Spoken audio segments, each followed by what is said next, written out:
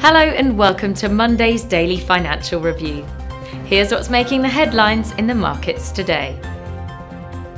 The dollar yen pair has gained 0.4% in the last session. The MACD has moved into the positive area.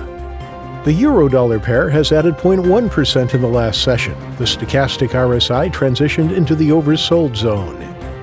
The Aussie dollar pair has gained 1.7% in the last three sessions. The ADX has collapsed into the negative area. The price of crude oil has added 19.1% in the last three sessions. The ROC moved sharply into positive territory.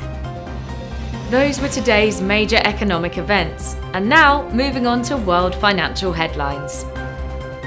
The staggering U.S. unemployment rate reported by the government may get even worse, Treasury Secretary Steven Mnuchin said on Sunday. The euro remains stable despite a bearish German court ruling and some dire economic forecasts from the European Commission.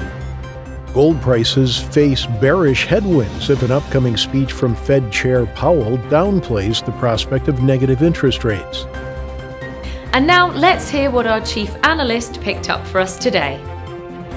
The U.S. three year note auction will be released at 1800 GMT, the Japanese foreign reserves at 050 GMT, the French reserve assets total at 645 GMT. The Italian industrial production at 800 GMT, the U.S. three month bill auction at 1630 GMT, and the U.S. six month bill auction at 1630 GMT.